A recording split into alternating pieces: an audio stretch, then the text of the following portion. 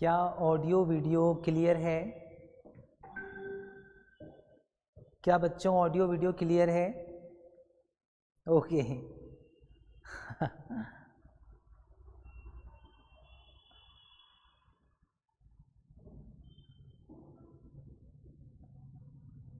क्या कोई समय? ओके। ओके। जल्दी से जुड़ जाओ बच्चों। बाकी लोग भी जल्दी से जुड़ जाओ। ताकि हम शुरू कर पाएँ।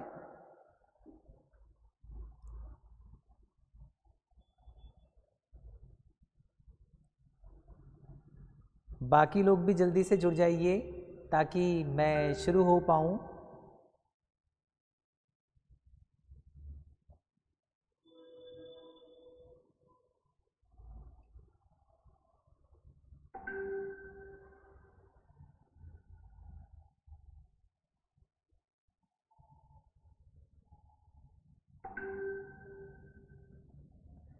तो मुझे चैट बॉक्स में बताइए कि क्या ऑडियो वीडियो क्लियर है और ज़रा ये भी बताओ कि क्या आप आ गए?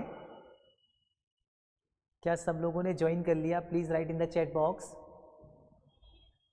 फिर मैं शुरू हो जाऊँगा। तो किसी का छूट ना जाए, उसके लिए ज़रूरी है कि सब लोग आएँ और बताएँ कि सब लोगों के क्या हाल हैं। इज़ एवरीबडी ओके क्या सब लोगों की पढ़ाई ठीक चल रही है?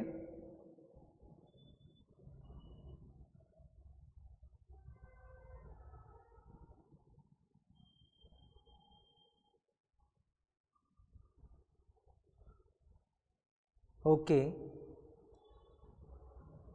Okay. Let me start और राइट ऑडियो क्लियर है? वीडियो क्लियर है? Okay good evening hello and welcome on YouTube channel of cameras academy तो आज भी शुरू करते हैं एनसीईआरटी का जादू। तो देखेंगे कि एनसीईआरटी का जादू पिछले दो दिनों से जो चल रहा है वो कितना चलेगा और पेपर में कितना एनसीईआरटी का जादू चल पाएगा। तो शुरू करते हैं। बात करते हैं आज फिर से एनसीईआरटी की और एनसीईआरटी में हम बात कर रहे थे। We were talking about yesterday we talked of physical properties कल हमने कुछ फ़िज़िकल प्रॉपर्टीज़ की बात की थी। उसके बाद हम आगे बढ़े थे और हमने कहा था कि कौन कौन सी केमिकल रिएक्शंस हैं जो halo alkanes and hello एलिन्स show करते हैं। हेलो एल्केन्स की हमने केमिकल प्रॉपर्टीज़ पढ़ी थी। उसमें भी जो हमने बात की थी, एक तो बात ये की थी कि न्यूक्लियोफिलिक सब्सटीट्यूशन रिएक्शंस ये लोग शो करते हैं। सब्सटीट्यूशन वो भी न्यूक्लियोफिलिक वाली। उस फिर ये कहा था कि उसकी दो मैकेनिज्म हैं। न्यूक्लियोफिलिक सब्सटीट्यूशन दो मैकेनिज्म से होता है। या तो एस एन वन से या एस एन टू से, है ना? एस एन वन का मतलब सब्सटीट्यूशन न्यूक्लियोफिलिक यूनिमोलिकुलर यूनिमोलिकुलर क्यों कहा था उसको? क्योंकि वहाँ पे जो रेट ऑफ़ रिएक्शन है वो किसी एक रिएक्टेंट की कॉन्सेंट्रेशन की एक पावर पे डिपेंड करता है। यही तो था। फिर हमने आगे कहा था कि कितने स्टेप में होती है एस एन वन तो कहा था दो स्टेप में।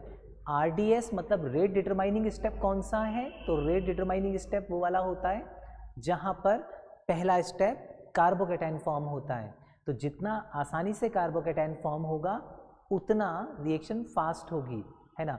और फिर ये भी कहा था कि जो कार्बोकेटाइन होता है, उसकी स्टेबिलिटी डिसाइड करती है कि रिएक्शन कितनी फास्ट होने वाली है। ये भी बताया था कि पोलर प्रोटिक सॉल्वेंट की प्रेजेंस में होती है ये रिएक्शन और इसमें क्या होता है कि पहले जो कार्बन और हेलोजन के बीच का बॉन्ड है, वो ब्रेक हो जाएगा कार्बोकेटाइन फॉर्म हो जाएगा और उसके बाद दूसरे स्टेप में वो जो न्यूक्लियोफाइल है, जो इनकमिंग ग्रुप है, वो आकर अटैक करेगा। इतनी बातें तो कल हो गई थी।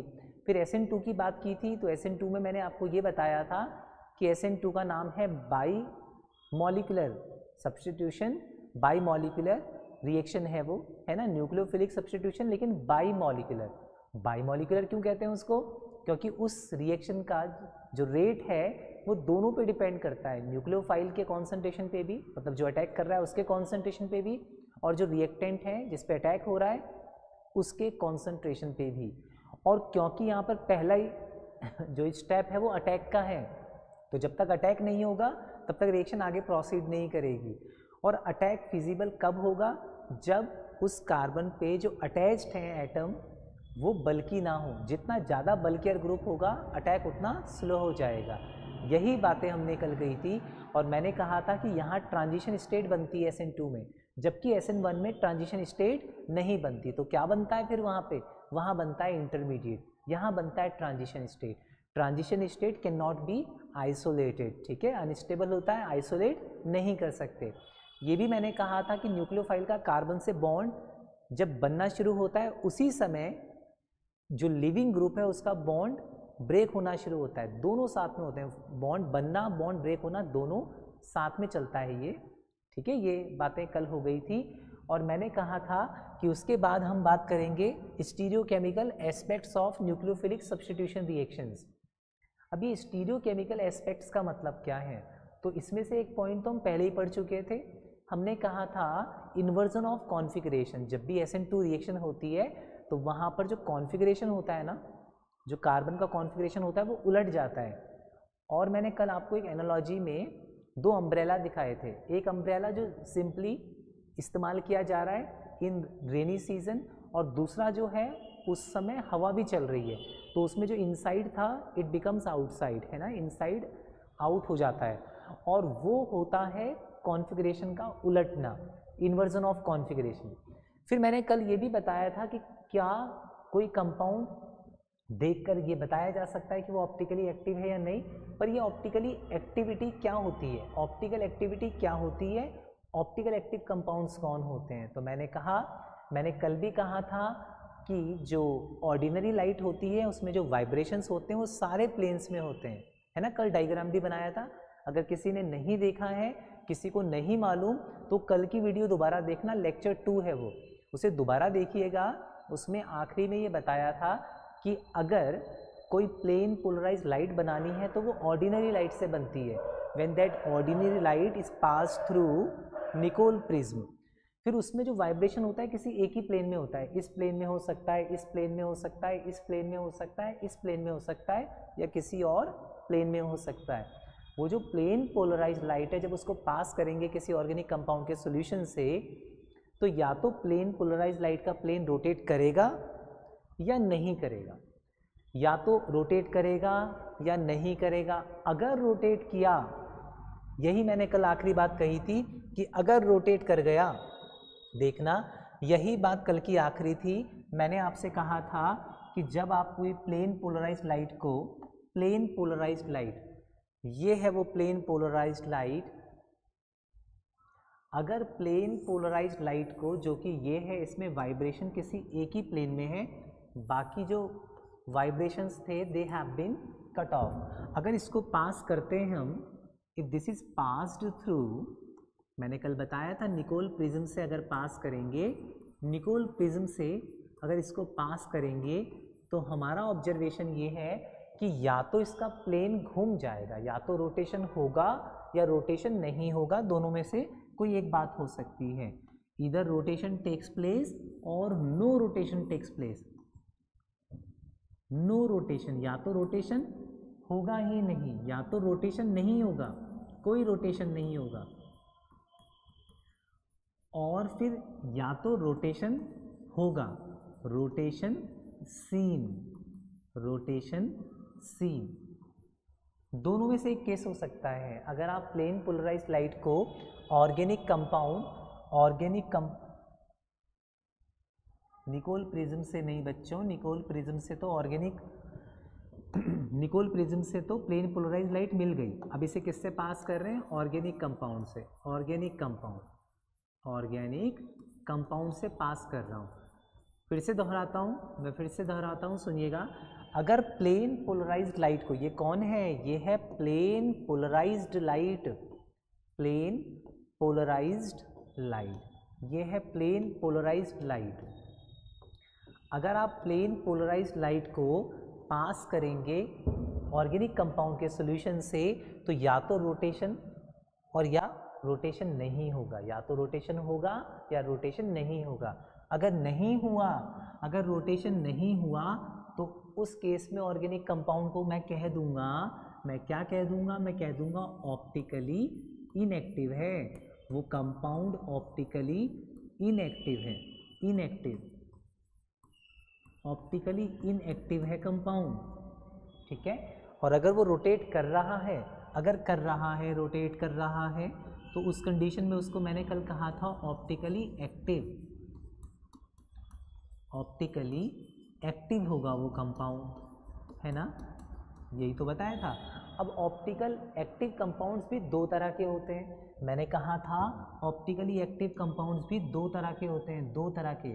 या तो प्लेन पोलराइज लाइट के प्लेन को रोटेट कर दिया होगा उसने, या तो रोटेट किया होगा क्लॉकवाइज और या रोटेट किया होगा एंटी क्लॉकवाइज या तो क्लॉकवाइज रोटेट किया होगा या क्लो एंटी क्लॉकवाइज रोटेट किया होगा। यहाँ होना चाहिए था, प्लेन को यहाँ होना चाहिए था, यहाँ पे होना चाहिए था, पर चल, चला कहाँ गया?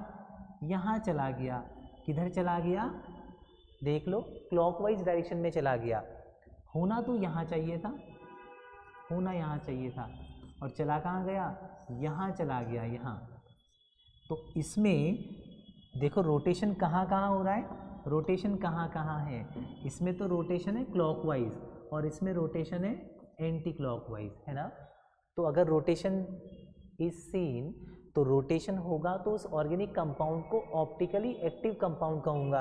अब optically active compounds are of two types या तो वो प्लेन पोलराइज लाइट को क्लॉकवाइज रोटेट करेंगे और या फिर एंटी क्लॉकवाइज रोटेट करेंगे। अगर उन्होंने एंटी क्लॉकवाइज रोटेट किया तो कुछ और नाम हो जाएगा। और अगर क्लॉकवाइज रोटेट किया तो फिर कुछ और नाम हो जाएगा।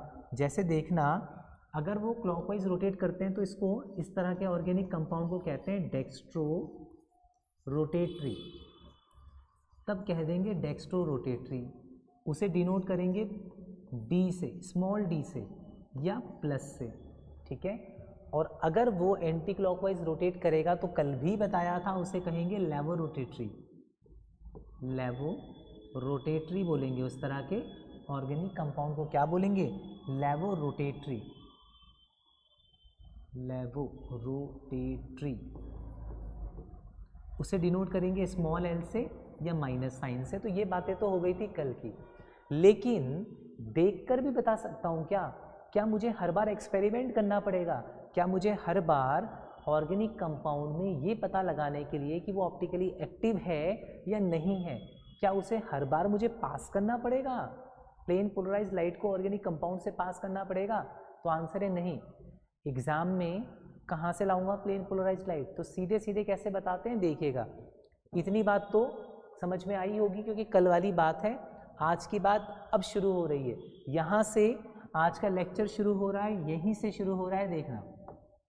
अब अगर कोई मुझको ये कहता है कि ऑप्टिकली एक्टिव कंपाउंड है, ये कैसे पता लगे?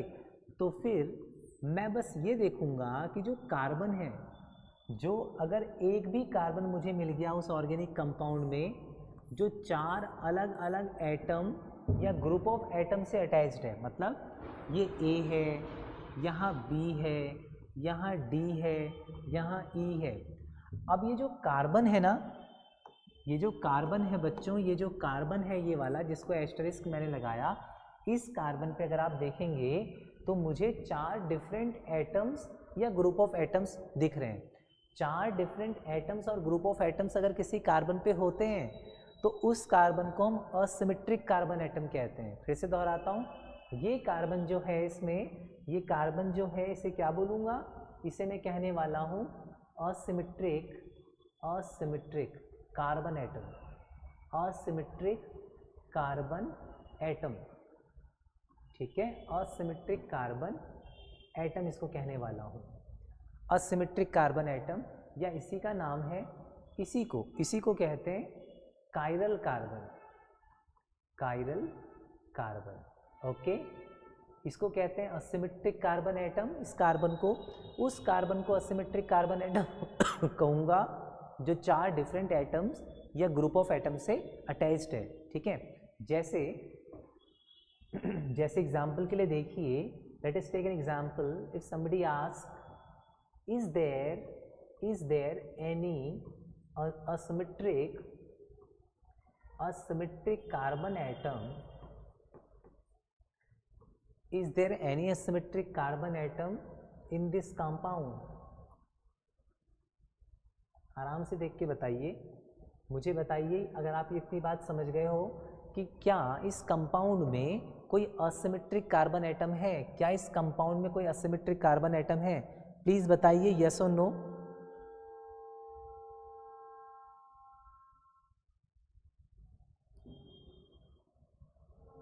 yes. Okay. Someone says yes yes, all right. और भी बताओ बच्चों, है या नहीं है इसमें?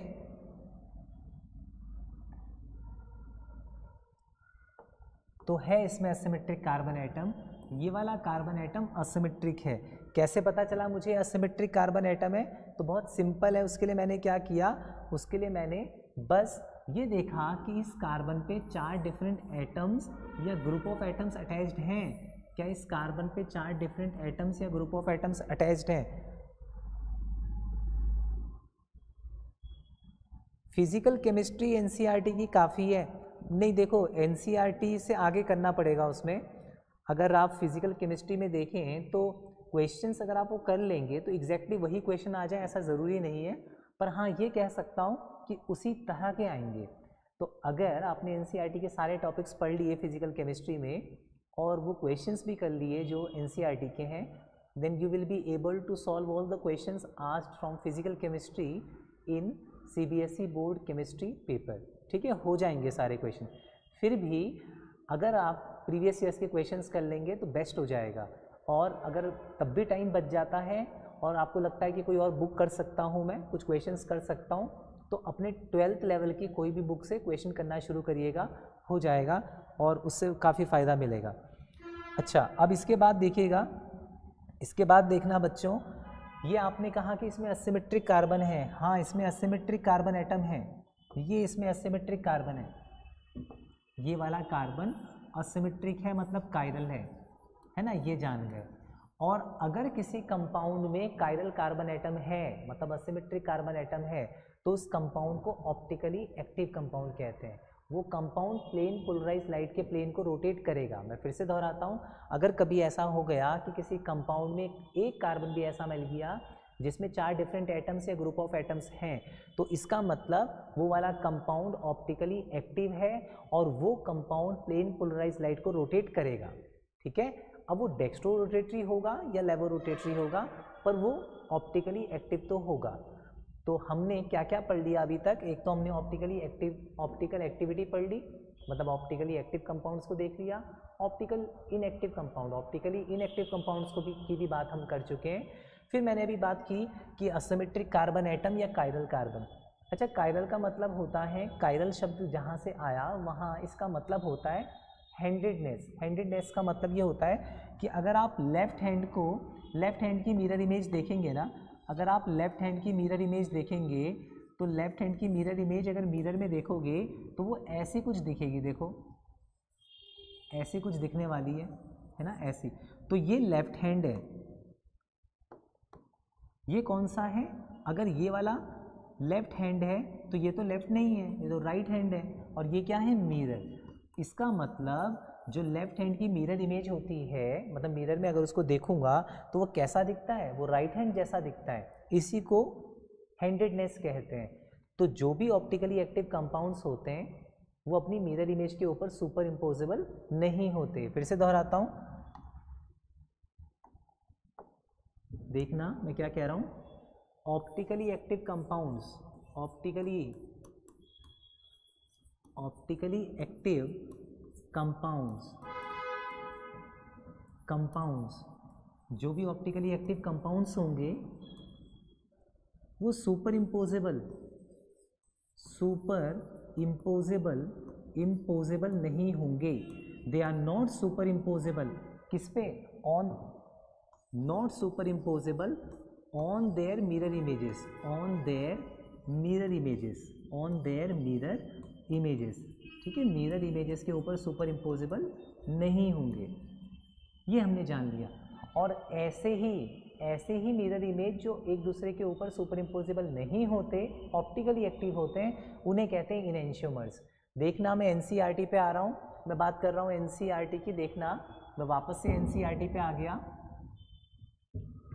देखना बच्चों।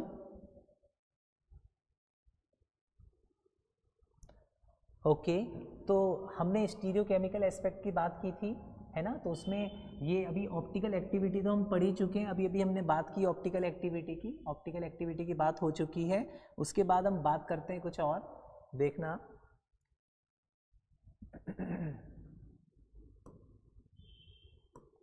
ऑप्टिकल एक्टिविटी की बात हम कर चुके हैं। ये वाली बात हमारी हो गई। कायरलिटी की बात हम कर चुके हैं। कायरलिटी का मतलब कि अगर कभी ऐसा हो कि अगर किसी ऑर्गेनिक कंपाउंड में एक कार्बन भी आपको ऐसा मिल जाए which is not super impossible जिसमें एक कार्बन भी ऐसा मिल जाए जो चार डिफरेंट एटम्स या ग्रुप ऑफ़ एटम्स से अटैच्ड हो, उस कार्बन को क्या बोलेंगे? कायरल कार्बन है ना? यही तो बताया मैंने। उसे बोलेंगे कायरल कार्बन और जो वो कायरल कार्बन होगा, अगर वो है तो उसमें कायरलिटी है, उस कंपाउंड में कायरलिटी है। फिर ये रिटेंशन की बात आई रिटेंशन की।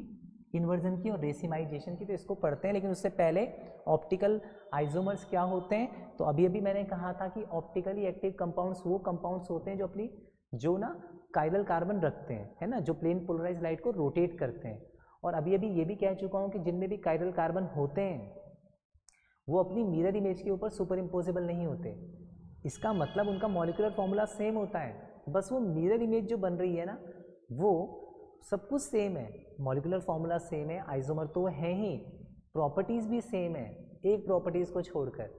इनमें से, इन दो मिरर इमेज में से एक मिरर इमेज ऐसी है, एक इमेज ऐसी है, एक कंपाउंड ऐसा है जो प्लेन पोलराइज लाइट को क्लॉकवाइज रोटेट कर रहा है, जबकि दूसरा ऐसा है जो एंटी क्लॉकवाइज रोटेट कर रहा है। तो ऐसे दो कंपाउंड जो ऑप्टिकली एक्टिव हैं और एक दूसरे की non superimposable mirror image उन्हें कहते हैं ऑप्टिकल आइजोमर्स देखो यहाँ पे लिखा है कि एक तो है नेगेटिव साइन के साथ मतलब लेबोरेटरी एक पॉजिटिव साइन के साथ तो such plus and minus isomers of a compound are called optical isomers और इसी फिनोमिना को नाम दिया ऑप्टिकल आइजोमेरिज्म का। इसी फिनोमिना को नाम दिया है ऑप्टिकल आइजोमेरिज्म का। तो ये हमने लिखा ऑप्टिकल आइजोमेरिज्म देखो ऑप्टिकल आइजोमेरिज्म की बात हमने कर ली ऑप्टिकल आइजोमर्स की बात भी हम कर चुके हैं। इतनी बातें हमने कर ली हैं। अब इसके बाद देखिए molecular asymmetry chirality in enantiomers तो ये जो असिमेट्री कायरलिटी देखो कायरल वो होंगे जिनमें सिमेट्री नहीं होगी। कायरल कंपाउंड्स वो होंगे जिनमें एक कार्बन कम से कम ऐसा होगा जो चार डिफरेंट एटम्स या ग्रुप ऑफ़ एटम से अटैच्ड होगा। और ऐसा अगर कंपाउंड आपको दिख जाए, ऐसा अगर आपको कंपाउंड दिख जाए तो उसमें कायरलिटी है। और वो अपनी मिरर इमेज के ऊपर अगर सुपर इम्पोजिबल नहीं है तो वो और उसकी मिरर इमेज आइजोमर्स तो हैं, पर किस तरह के आइजोमर्स हैं? तो उन्हें क्या बोलते हैं? इनएंशियोमर्स बोलते हैं। देखना, उन्हें बोलते हैं इनएंशियोमर्स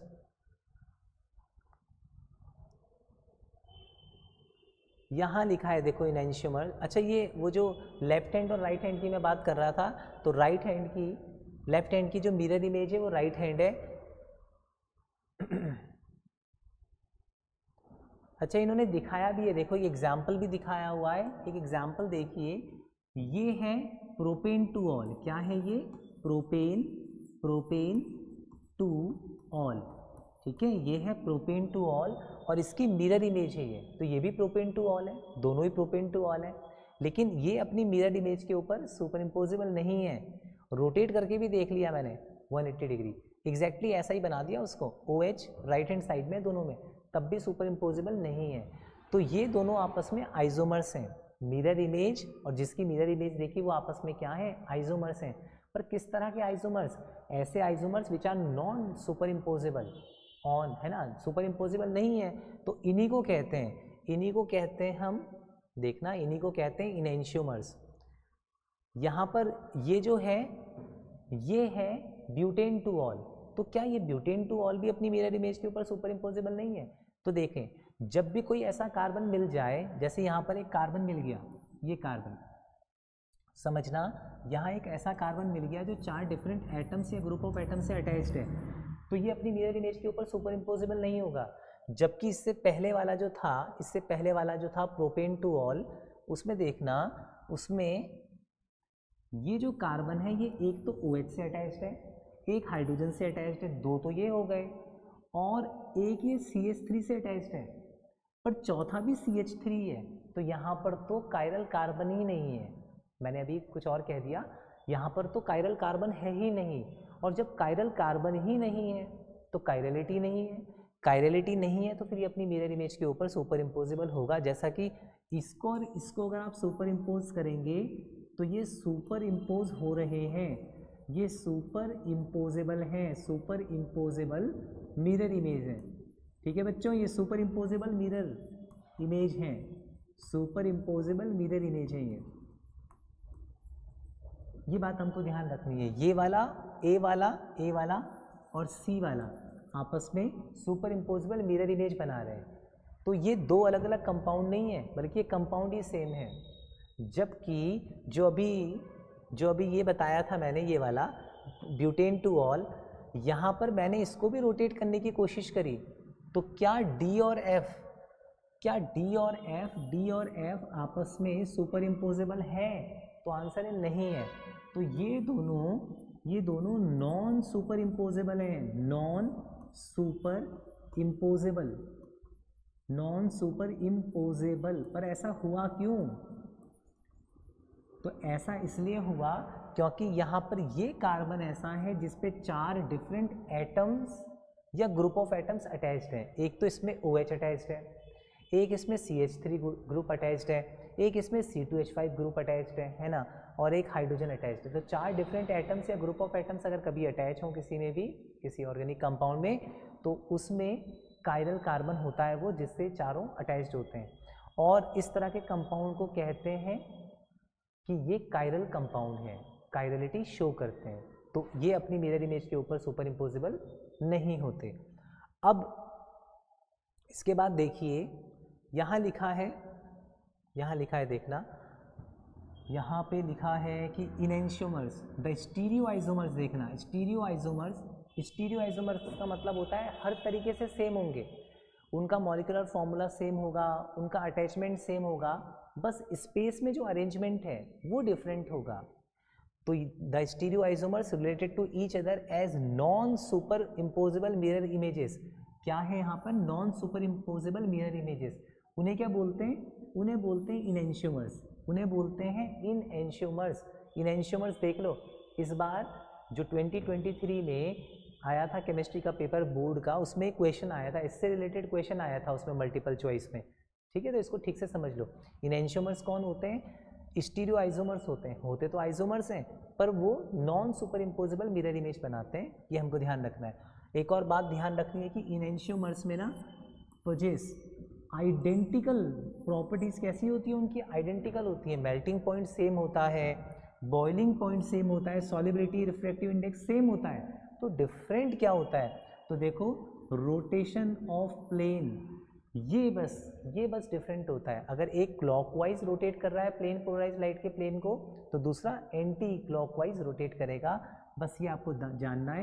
एक अगर डेक्स्ट्रो रोटेटरी होगा तो दूसरा क्या होगा? लेवो रोटेटरी होगा। इतनी बात आपको ध्यान में रखनी है। एक चीज़ और सुनिएगा। इसके बाद देखिए, इसके बाद। यहाँ लिखा है कि ये ये मिक्सचर अगर ऐसा मेरे पास कोई मिक्सचर हो ना, अगर मेरे पास इनेंशियोमर्स का मिक्सचर हो इनेंशियोमर्स क्या होते हैं? इनेंशियोमर्स ऐसे स्टीरियो होते हैं जो एक दूसरे के ऊपर मतलब वो मिरर इमेज होते हैं, लेकिन non superimposable mirror image होते हैं। और उनकी प्रॉपर्टीज़ सेम होती है, बस जो रोटेशन एक क्लॉकवाइज रोटेट कर रहा है, एक एंटी क्लॉकवाइज रोटेट कर रहा है। बस इसमें वो डिफरेंट होते हैं। ठीक है? बस यही डिफरेंट है, बाकी सेम होता है। अब अगर मेरे पास एक मिक्सचर है इनेंशियोमर्स का, वो भी इक्वल प्रोपोर्शंस में, देखो इक्वल प्रोपोर्शंस में आइजोमर्स कौन से वाले? इनेंशियोमर्स उनका मिक्सचर मेरे पास हो इक्वल प्रोपोर्शंस में तो उनका जो ऑप्टिकल रोटेशन होता है, वो कैसा होता है? ज़ीरो होता है ज़ीरो इसका मतलब वो ऑप्टिकली इनएक्टिव होते हैं। लेकिन ये तो बड़ी अजीब सी बात हुई। अभी तो कहा था, अभी तो मैंने कहा था कि जो इनेंशियोमर्स होते हैं, वो मिक्सचर होते हैं।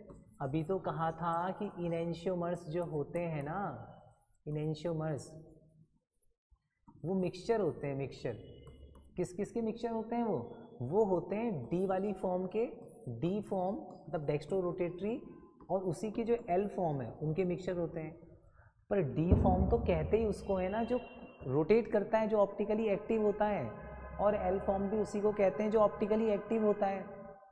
तो फिर जो ये मिक्सचर जो ये मिक्सचर है, जिसमें इक्वल प्रोपोर्शन में टू इनशमर्स होंगे, उनका ऑप्टिकल रोटेशन ज़ीरो क्यों होता है?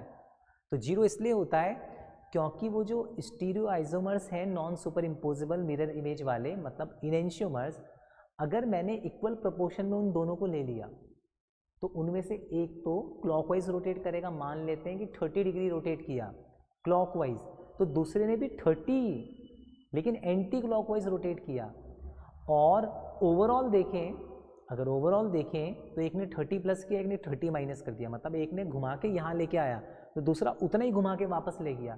तो ओवरऑल मुझे कैसा दिखेगा कि जैसे कोई रोटेशन नहीं हुआ। रोटेशन हुआ है। माइक्रोस्कोपिक लेवल पे देखूँ तो रोटेशन हुआ है, लेकिन विजिबल नहीं है। क्यों? क्योंकि दोनों ने एक दूसरे के इफ़ेक्ट को कैंसिल कर दिया। I hope you understood this मैं क्या कह रहा हूँ? मैं ये कह रहा हूँ कि cancelled by cancelled by the rotation due to the other isomer एक ने जितना रोटेट किया, दूसरे ने भी उतना ही रोटेट किया तो एक दूसरे के इफ़ेक्ट को कैंसिल कर दिया। और इस तरह का मिक्सचर जिसका जो नेट जो नेट रोटेशन होगा, वो ज़ीरो होगा, लेकिन उसमें जो मिक्सचर में हमने दो कंपाउंड लिए हैं वो ऑप्टिकली एक्टिव हों। तो ऐसे मिक्सचर को कहते हैं रेसिमिक मिक्सचर उसे कहते हैं रेसिमिक मिक्सचर या फिर रेसिमिक मॉडिफिकेशन उसी को कहते हैं रेसिमिक मिक्सचर या रेसिमिक मॉडिफिकेशन और रेसिमिक मिक्सचर को रिप्रेजेंट कैसे करते हैं? तो देखो रेसिमिक मिक्सचर में क्या है? रेसिमिक मिक्सचर में डी फॉर्म भी है। डी है ना डेक्स्ट्रो रोटेटरी इसमें और एल फॉर्म भी है। दोनों फॉर्म तो है उसमें। तो डी एल से रिप्रेजेंट करते हैं। या प्लस माइनस से रिप्रेजेंट करते हैं। प्लस का मतलब डेक्स्ट्रो रोटेटरी और माइनस का मतलब लेवो रोटेटरी तो ये भी रेसिमिक मिक्सचर को रिप्रेजेंटेशन रिप्रेजेंट करने का तरीका रेसिमिक मिक्सचर को रिप्रेजेंट करने का तरीका ये भी है। और ये भी रेसिमिक मिक्सचर को ही रिप्रेजेंट करने का तरीका है। और वो जो प्रोसेस है, वो जो प्रोसेस है कन्वर्जन का, जिसमें इनशमर को कन्वर्जन कन्वर्ट करते हैं रेसिमिक मिक्सचर में, उसे क्या बोलते हैं? उसे रेसिमाइजेशन बोलते हैं। उसे बोलते हैं रेसिमाइजेशन। मुझे बताइए, क्या आपको इतनी बात समझ में आई? क्या इतनी बात सबको समझ में आ रही है? ज़रा बताइए, प्लीज़।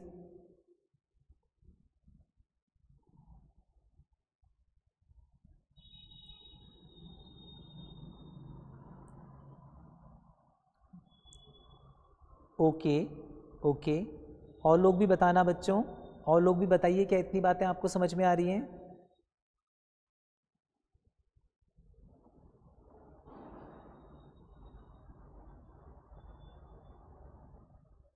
ओके। ठीक है बच्चों, मैं आगे बढ़ रहा हूँ। इतनी बातें अगर आपको समझ में आ गई हों तो आगे बढ़ते हैं और बात करते हैं कि इससे आगे कुछ और। अगर मुझे कहें कि आइडेंटिफाई एक क्वेश्चन देखिएगा identify chiral and achiral molecules in each of the following pairs of compound तो अगर मुझे ये बताना है कि इनमें से कौन सा कायरल है, कौन सा अकायरल है तो कैसे करेंगे ज़रा देखना। मैंने क्या किया इस कार्बन को देखा, मैंने इस कार्बन को देखा। अगर आप ध्यान से देखेंगे तो दोनों कार्बन को ज़रा ध्यान से देखना, दोनों कार्बन को।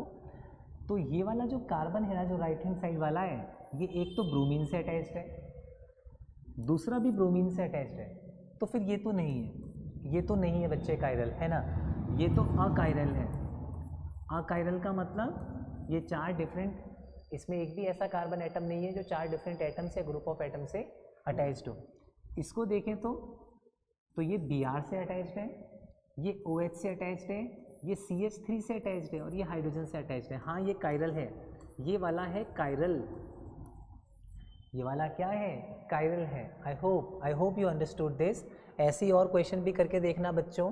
ऐसे ही बाकी क्वेश्चन भी करके देखिएगा। बहुत जल्द मैं इसका सोल्यूशन लेके आऊँगा। मैं सोल्यूशन वाली वीडियो भी लेके आऊँगा बहुत जल्द। अब ये देखिए रिटेंशन का मतलब क्या है? रिटेंशन का। इस वाले एग्ज़ाम्पल को देखना, यहाँ ओ एच है है ना? ये लिविंग ग्रुप है। ये क्या है? लिविंग ग्रुप ये है लिविंग ग्रुप ओ एच क्या है?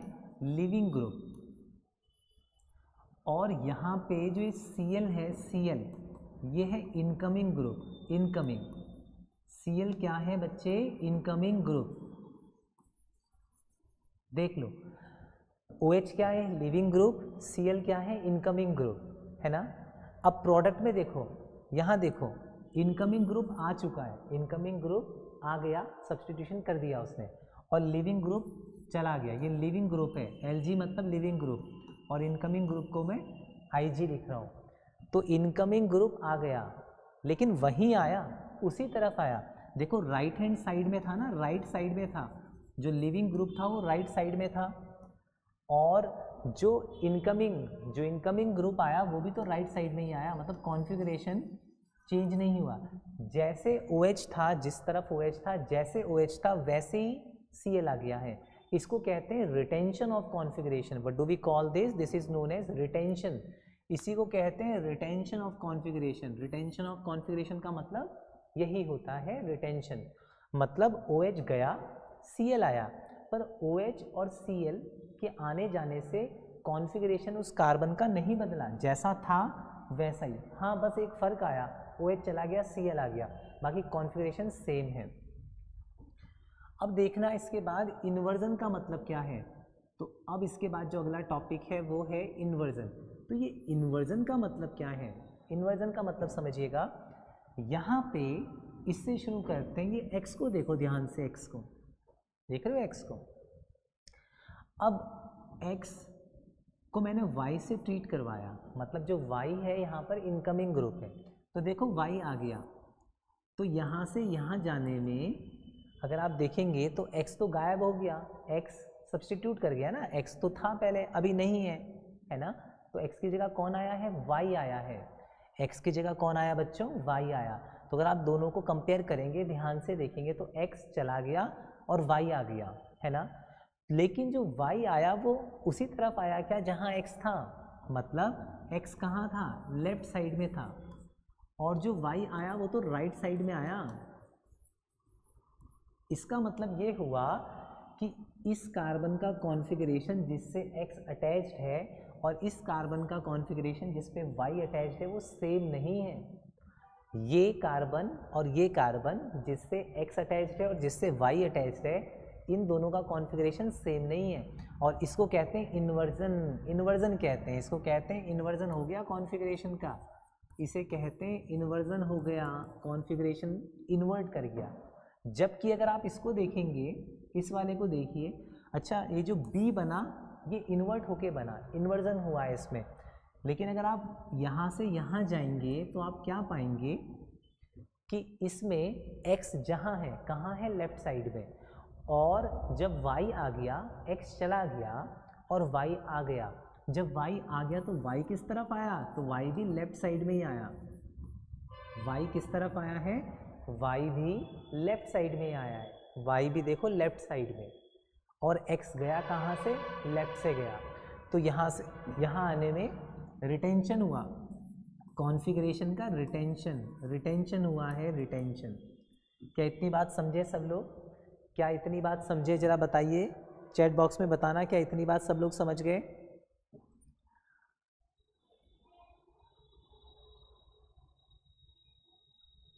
बताइए प्लीज़, क्या इतनी बात सब लोगों को समझ में आ रही है?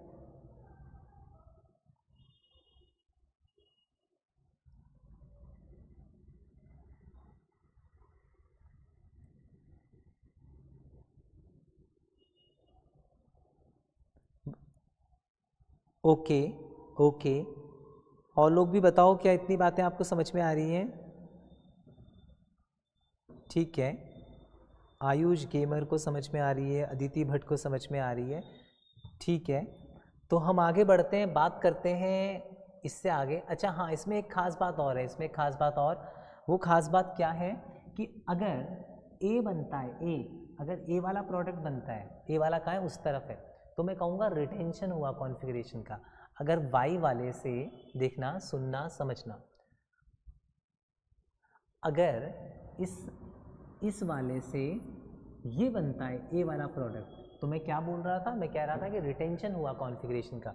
लेकिन अगर ये बन रहा है डी वाला तो मैं क्या कहूँगा? मैं कहूँगा कि इन्वर्जन हुआ कॉन्फ़िगरेशन का। लेकिन अगर ए प्लस बी दोनों बन गए, दोनों बन गए ए प्लस बी तो मैं कहूँगा कि रेसिनिक मिक्सचर बन गया रेसिनिक मिक्सचर तब मैं कहूँगा कि रेसिनिक मिक्सचर बन गया।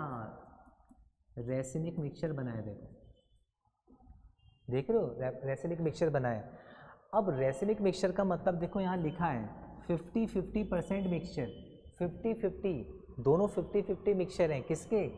अगर ए बी मिला 50 और बी भी मिला 50 तो उस कंडीशन में क्या बोलूँगा?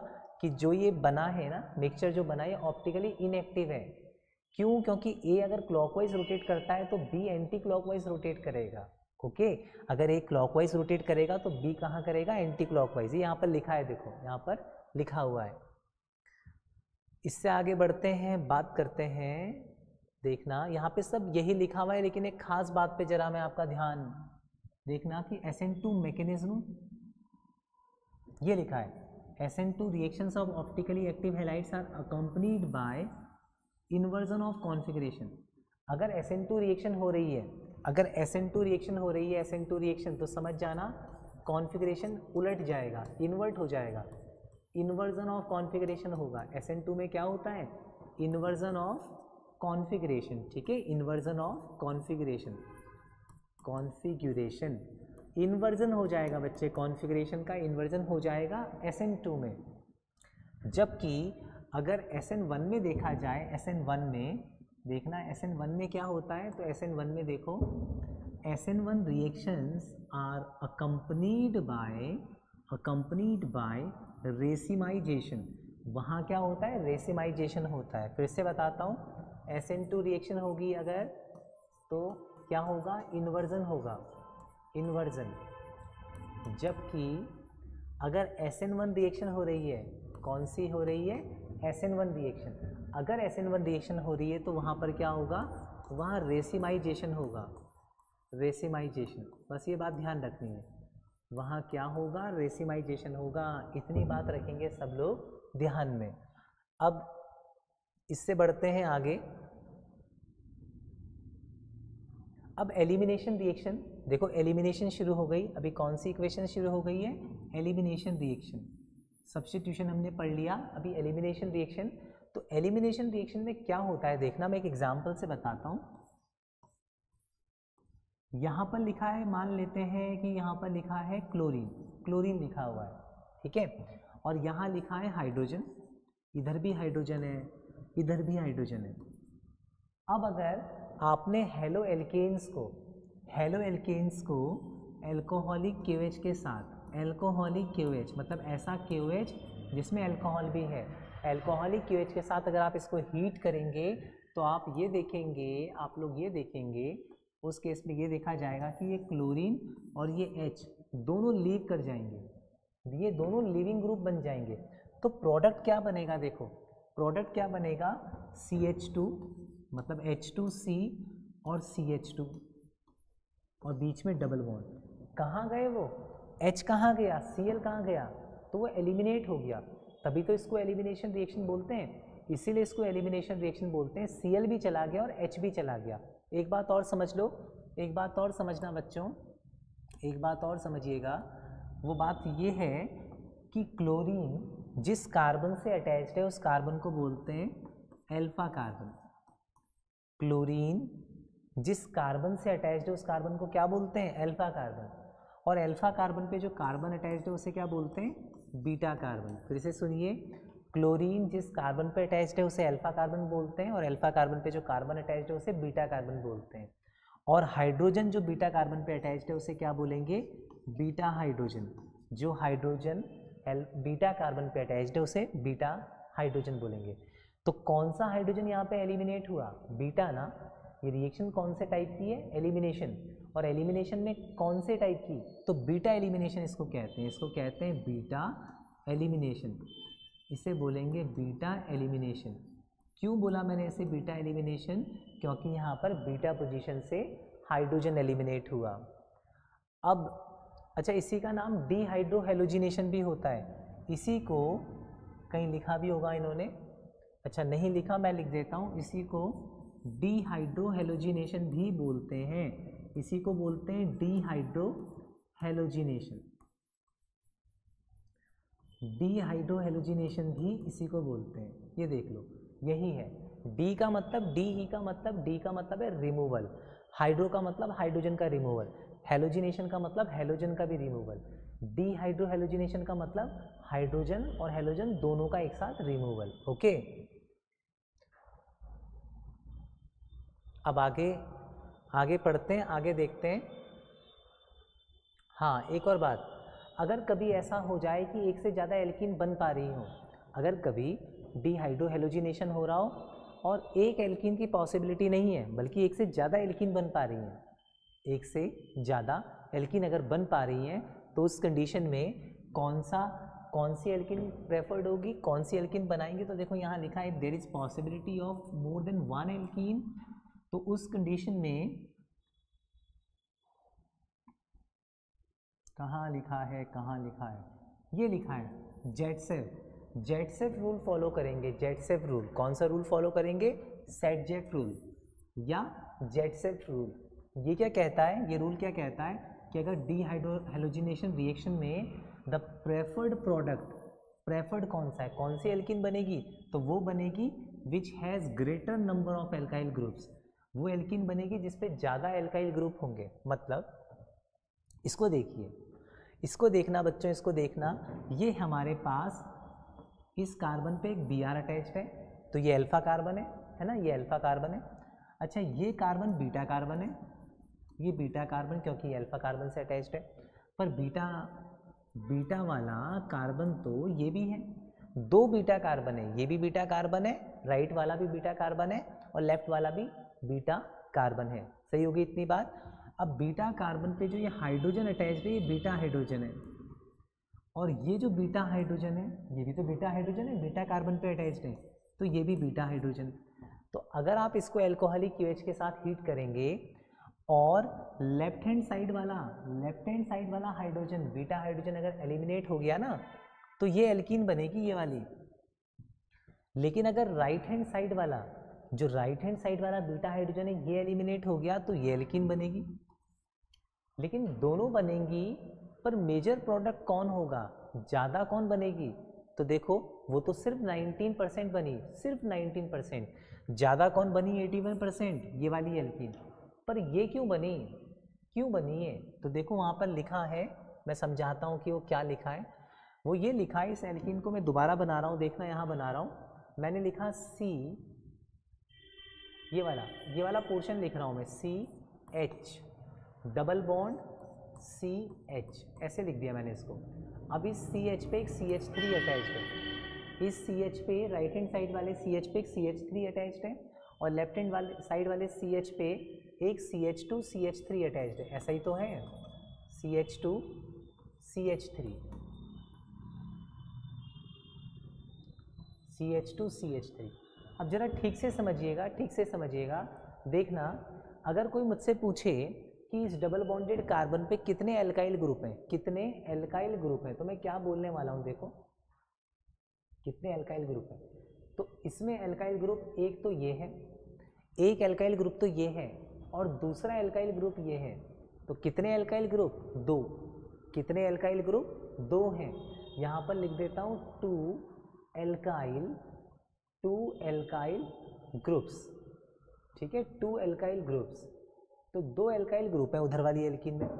अब इधर वाली एल्किन में देख लेते हैं। इधर वाली एल्किन में भी देखेंगे। देखो, मैंने लिखा C H C H double bond carbon उस पर दो हाइड्रोजन ऐसा ही तो है ये।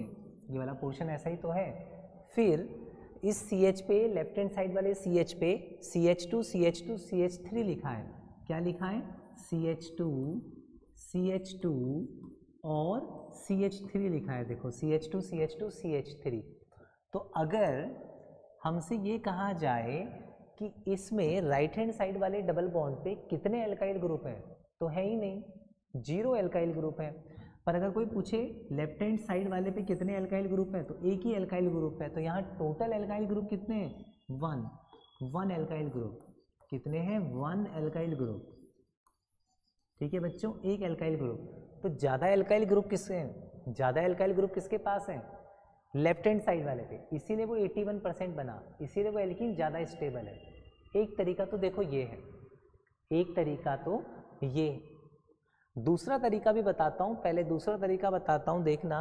अगर इसी एल्किन की बात की जाए तो देखना सी डबल बॉन्ड सी इस पर एक एच इस पर एक H अभी मैंने दो कार्बन जो दिखाए, उन दोनों कार्बन पे राइट हैंड साइड वाले पे कितने कार्बन अटैच्ड हैं? एक। और उस पर तीन हाइड्रोजन है। ऐसे ही तो है।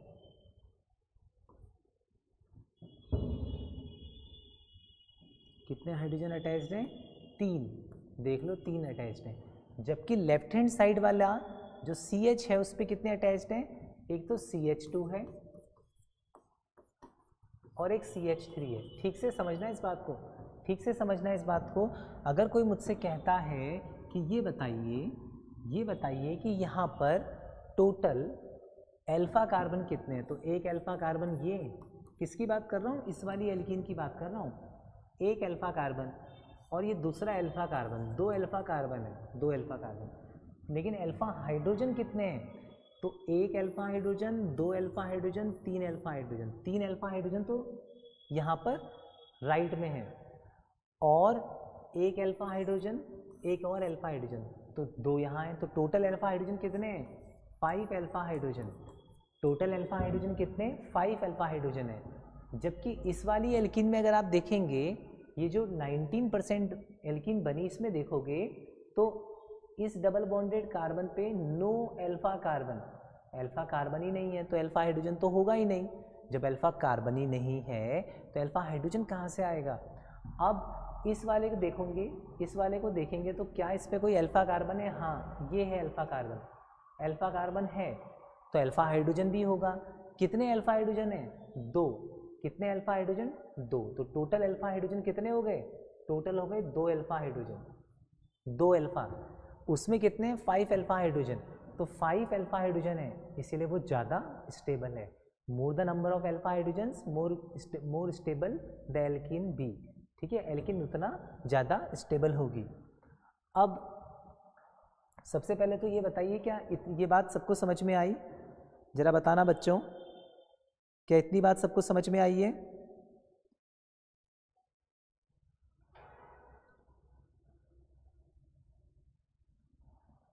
बताओ बच्चों, क्या इतनी बात सबको समझ में आई?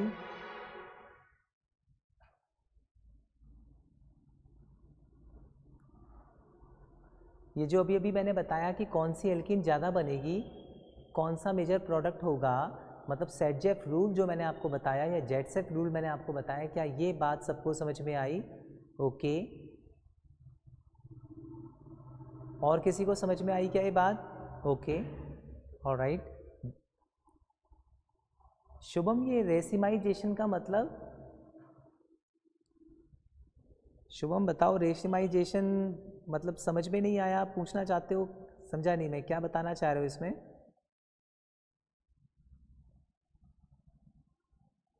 रेसिमाइजेशन समझ में नहीं आया क्या?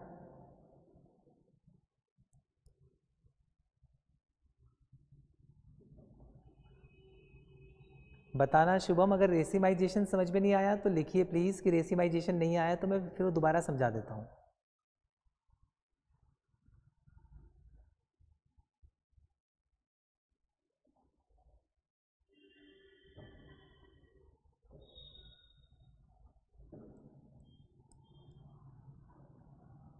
तो क्या ये समझूं कि वो भी समझ में आ गया? वो रेसिमाइजेशन जो लिखा है, शायद कुछ और मतलब रहा होगा, वो समझ में आ गया शायद।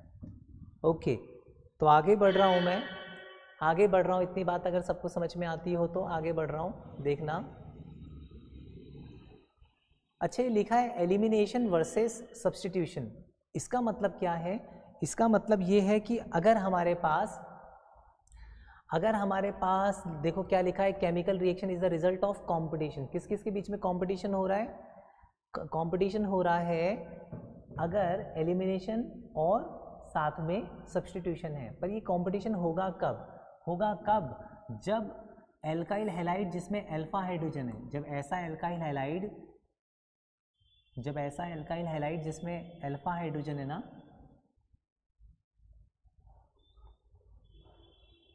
ऐसा एल्काइल हेलाइड जिसमें अल्फ़ा हाइड्रोजन है, देखो, ऐसा एल्काइल हेलाइड जिसमें अल्फ़ा हाइड्रोजन है, अगर उसे किसी बेस या nucleophile has two competing routes उस पर दो रूट होते हैं। मतलब एक तो वो सब्सटीट्यूशन हो सकता है और दूसरा एलिमिनेशन हो सकता है।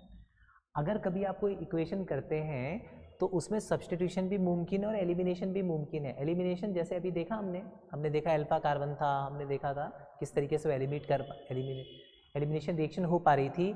Which route will be taken depends upon the nature of alkyl halide कौन सा एल्काइल हेलाइड है? क्या स्ट्रेंथ है उसकी?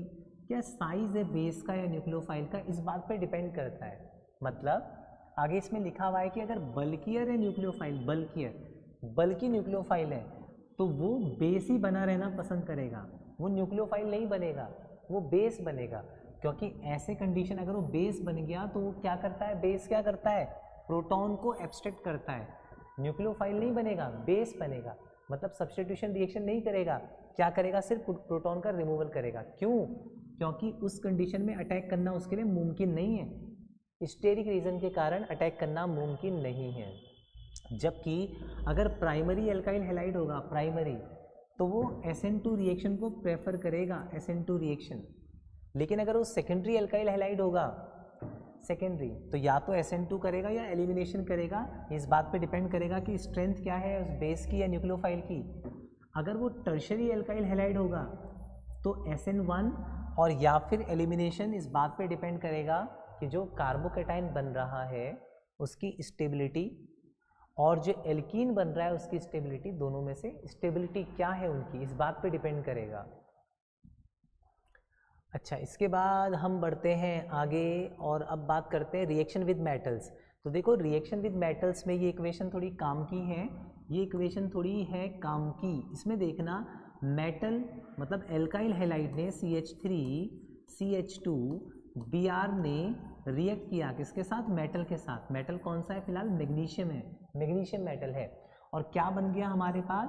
C H three C H two M G B R ये बन गया देखो।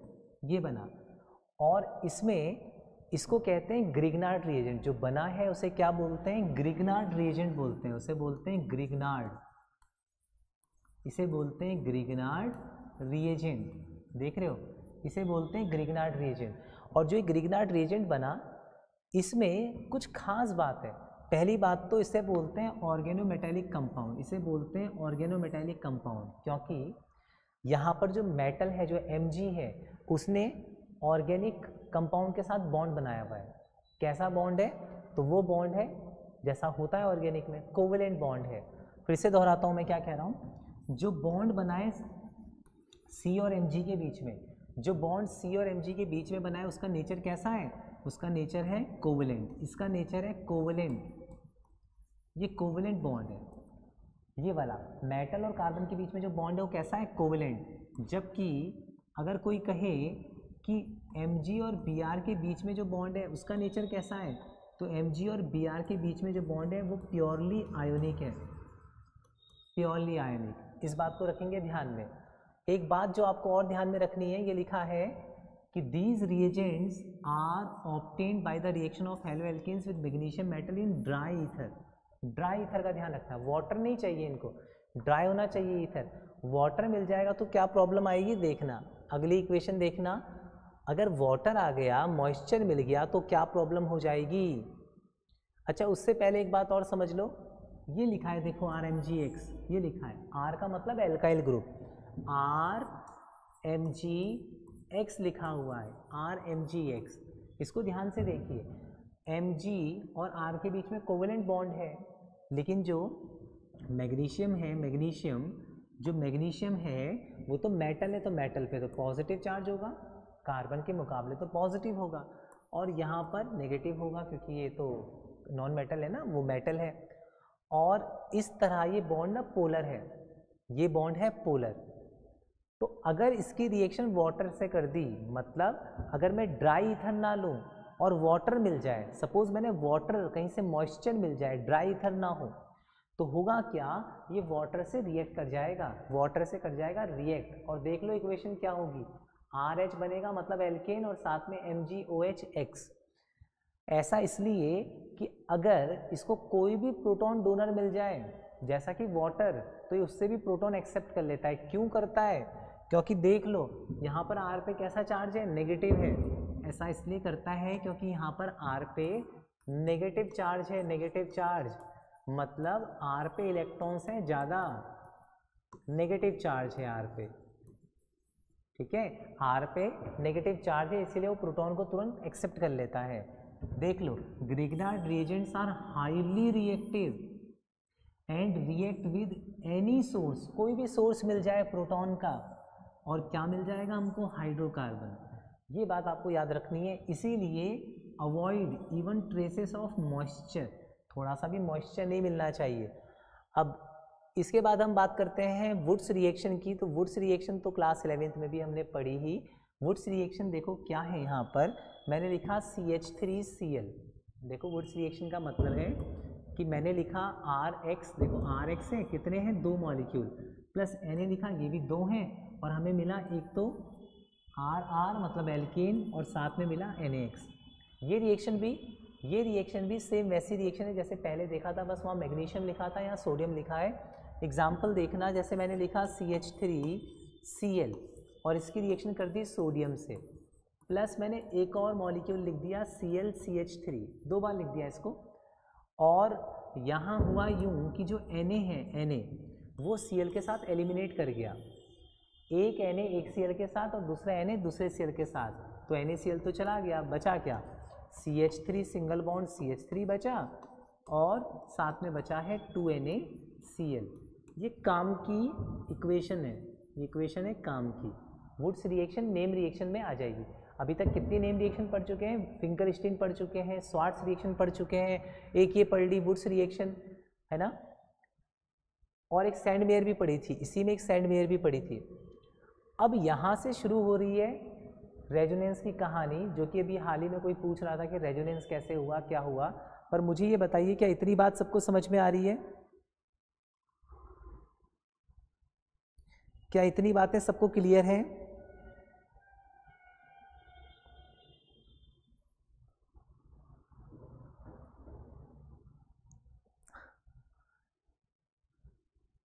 बताओ बच्चों, क्या इतनी बातें सबको क्लियर हैं?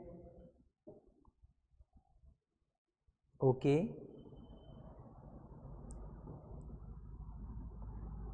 और लोग बताइए, क्या इतनी बातें आपको क्लियर हैं?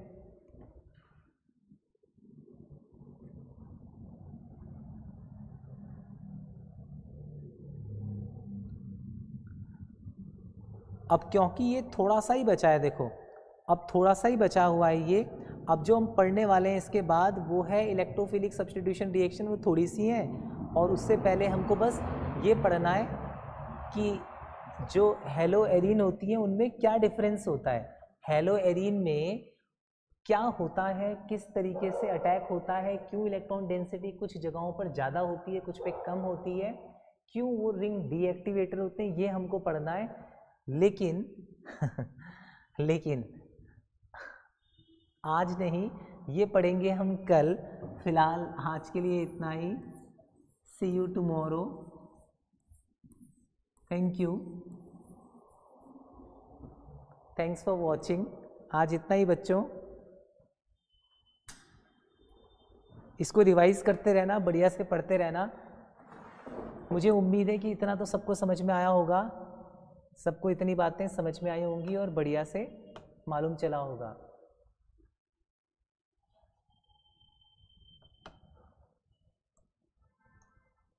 थैंक यू बच्चों।